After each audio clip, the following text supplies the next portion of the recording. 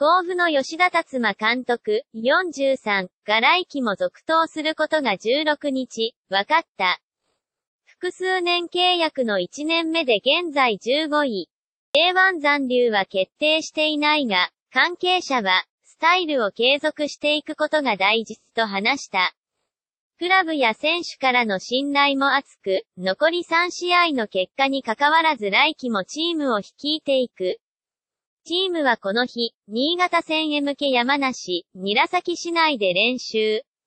吉田監督にとっては昨季途中まで指揮を取ったフルストの対決だが、J1 に残留するためには絶対に落としてはいけない一戦、と必勝を誓った。